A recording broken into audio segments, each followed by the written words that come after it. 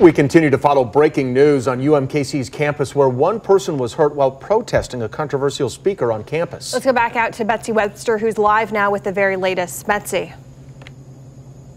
Well, one of the big questions is whether the use of force was appropriate in this case. A university spokesman confirms that indeed university police did tase one protester and did use pepper spray or what they call OC spray on several others. He says that the taser was used while trying to arrest one of the protesters who was resisting arrest. Um, and as for what that protester was being arrested for, well, it appeared to be mostly disruptive yelling, what we saw in some video we were shown. But a supporter of the speaker who shot that video says that the tasing took place after the protester sprayed something.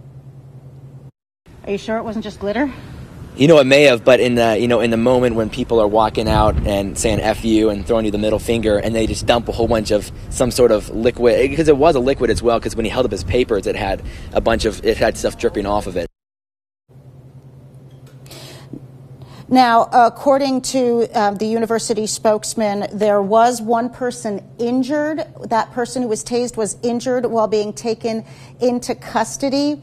I am not certain the nature of that injury. I was told by the spokesman that the person was treated at the scene and not transported, though I did hear some folks who were walking into the area talking about blood in the area, some blood in that room, but I have not been allowed to go into the auditorium to uh, really see how much of that we're talking about.